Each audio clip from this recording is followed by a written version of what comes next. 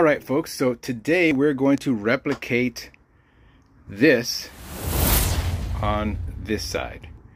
Now, when I cut this side here, I had removed the trim uh, just to keep things less dusty and all. But then when I put this in and I attached uh, just a few, just like 25 Clecos on here to hold it all in place. And you might have seen in the quick short that I did, uh, showed the underside. So I took the measurements that are in the YRM workshop on their website uh, for this Puma conversion. And I made the cuts right where they said, and still a little bit more. I mean, I could have done definitely another six, seven millimeters for sure.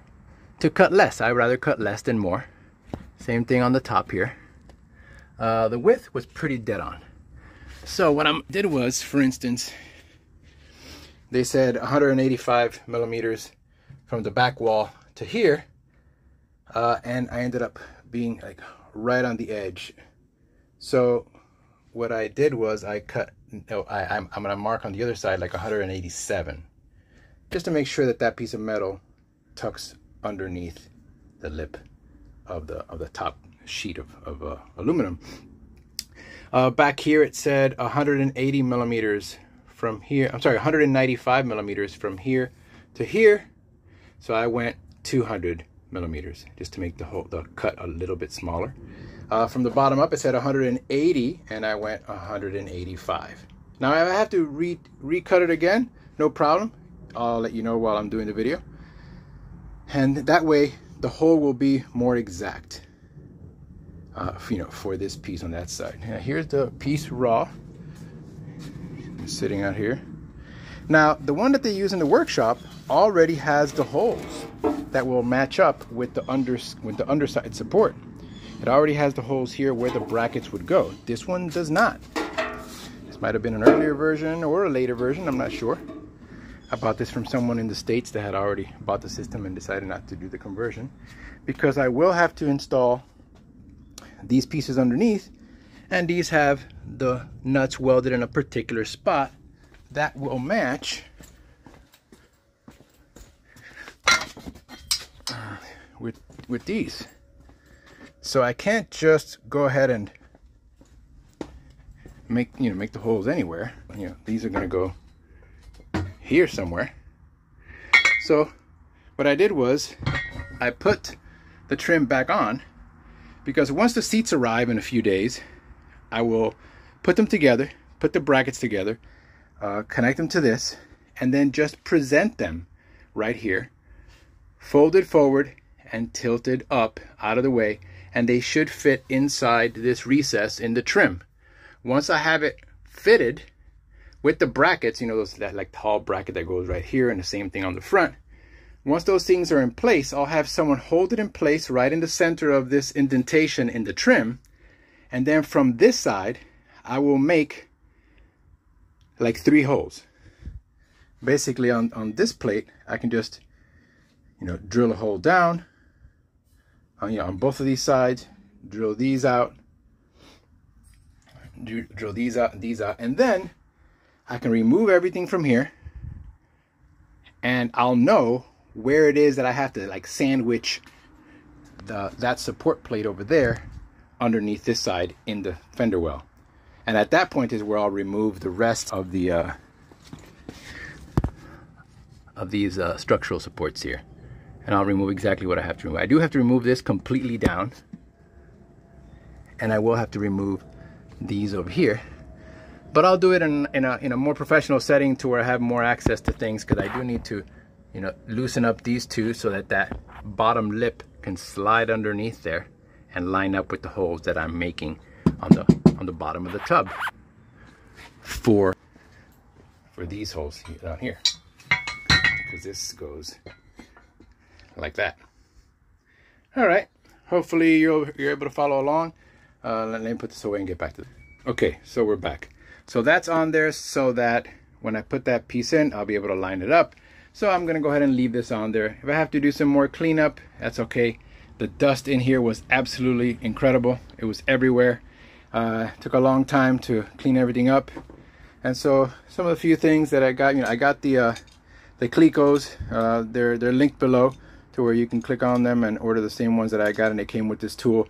At first I got a set of 25 1 8 and 25 3 16ths uh, that came with the bag and then when I put all 25 of the 1 8 I figured I only wanted to make a 1 8 hole uh, so there's a drill bit for that and so I used all 25 of them on this side and I said I don't want to make larger holes for the other side let me just go ahead and buy another 50 of the 1 8 inch ones and that's what I did all right, there it is from MRO Tools.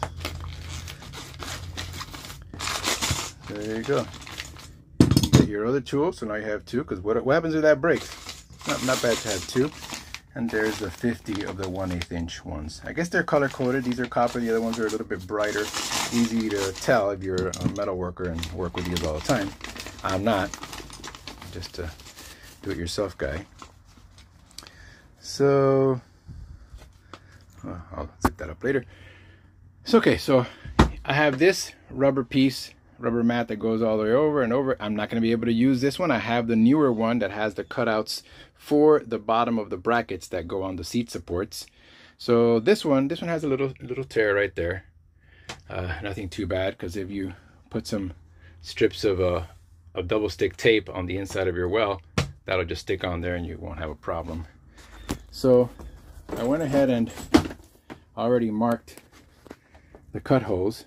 So from out here, and if you go, if you just Google um, YRM Puma conversion workshop on Google, it'll come up right away. It'll be the first thing that comes up in your search and you can click on that and it shows you the directions of what they did. So I measured it out from there. Uh, then it was uh, 1075 millimeters all the way across. Then you know, you know 85 from back here. And I, you know, I went a little bit more because I saw that I can I can make the hole a little smaller to make things tighter. And 180 millimeters from here to the top, and I went 185. Uh, and uh, that's that. So now, now I'm going to go ahead and cut this off. Now to save a little bit of dust, I'm going to go ahead and just cover that stuff with something. Or not, I guess it's just as easy to clean it because this still has a while before I'm riding in it, especially with the kids and everything. Hearing protection, breathing protection. You don't want to breathe any of that. It's going to be way worse than coronavirus. Uh, an angle cutter with this four inch metal cutting disc. I got these at Harbor Freight. Very inexpensive. Then this uh, four inch flapper it used to be four inches. It's a little bit smaller now. And that is, I think it's grit. Uh, what's the grit on that? 36 grit. And that just smooths out the cuts, makes it a lot smoother. Now, when you open that up, you're gonna have exposed, uh, exposed vertical supports long screwdriver to kind of dig everything out of there and then a, a, vacuum and you'll be able to vacuum all the dirt that has accumulated in there over the last 30 years uh, then one, one other thing that I use since I, I can't get the round uh, this round disc you know to make perfect little edge cuts I then turn onto this which I bought for like 25 bucks and then I just do the last little little cuts just a couple of little cuts on all the corners makes removing this a one-piece process. Uh, okay, so I'm about to start the cut. Gotta protect yourself. Live to cut another day. I can barely see through these things. They're so worn. Alright. Huh. I want to get a hat so I don't fill my hair with uh, metal shavings, but here we go.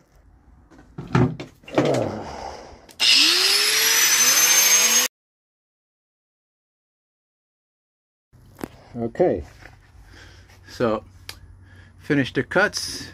Had to do a few with this because uh, this cut back here was a little too far back and I had to go a little further forward because there's a little plate back there. Let me show you. This plate right here that you can put a, uh, a cover that comes down and prevents mud from going to that back area. So now when I lift this up, I'll have to clean out all the mud that's in here. There is a drain hole back here that this will probably all be all filled up with mud. Same thing with this one and with this one back here. So there's three of those. And uh, I didn't cause a fire. I did wet this whole area while I was cutting just to keep anything at bay. And one thing that I've learned over the years is when you're cutting metal, the little pieces, the dust, can end up being combustible. So every four or five minutes, I would stop, vacuum this area out, and then continue so that I wouldn't have combustible airborne materials in the area of the cutting blade that would cause sparks. Uh, all of these things I've learned on the my OSHA training for motion picture work around uh, special effects, but it comes in handy and it's just common sense. So I will take this part off. Oh yeah, it's full of mud.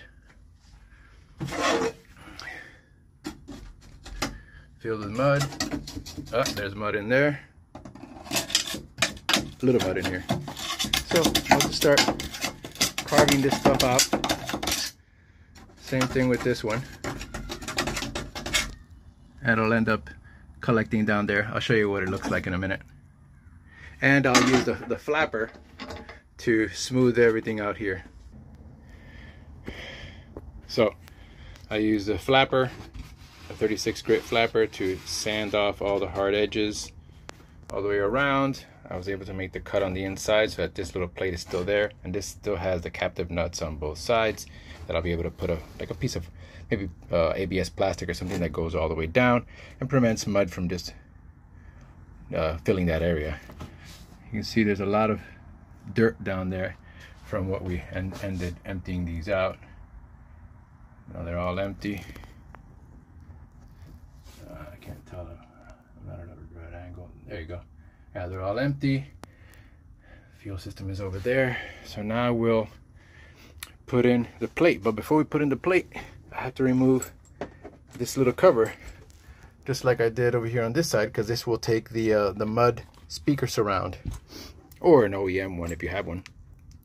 Uh, and the mud speaker surround does need a little bit of uh, modification in order to fit tightly in here so that's what I'll do now. But first I'm going to remove this just so I can go ahead and present that plate in here. Drill it just a couple of holes.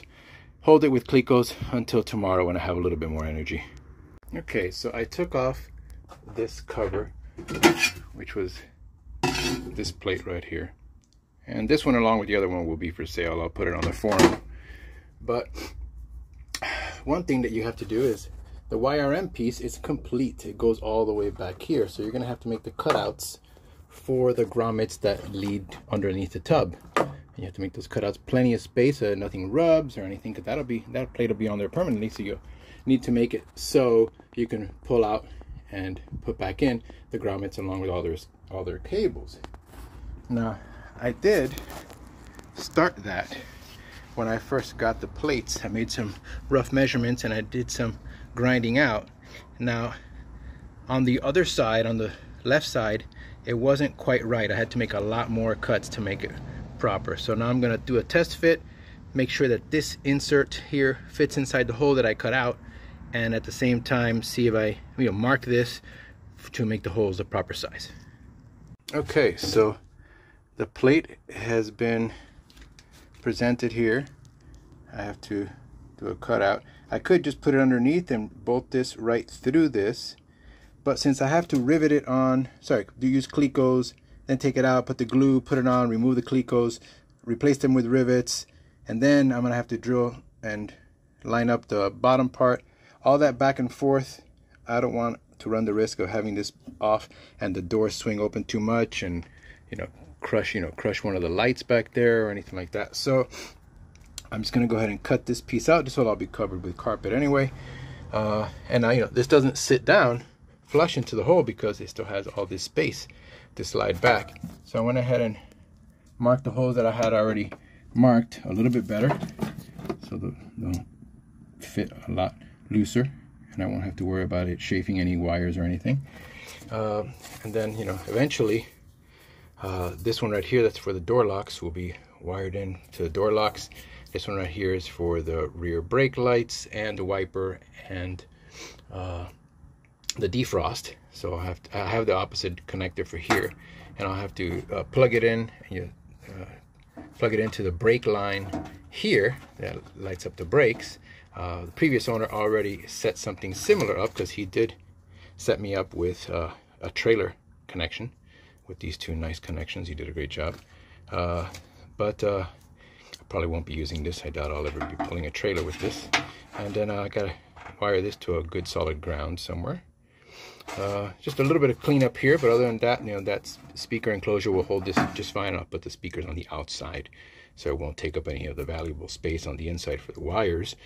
Uh, other than that, I just noticed that you can run wires up through here and have them come out there if you needed to get something done into the battery box. That would be pretty simple. But once again, the previous owner had a, a lot of forethought into the future and he put in this trailer wiring right here with uh, five extra wires that are not being used that some of them are up in the front and right behind the dash. So it's going to be fantastic that I'll be able to just tag on. If I have you know the, the rear work light that I wanted to come on with a switch uh, I want that, you know, I already have wires here that I'll be able to tag onto it. All I need is one of them to be the positive and the ground will be taken from the chassis down here in this area.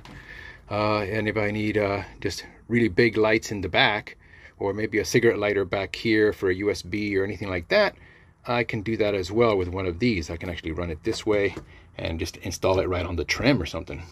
That'd be pretty, pretty cool, pretty sexy. It will look nice and OEM right there.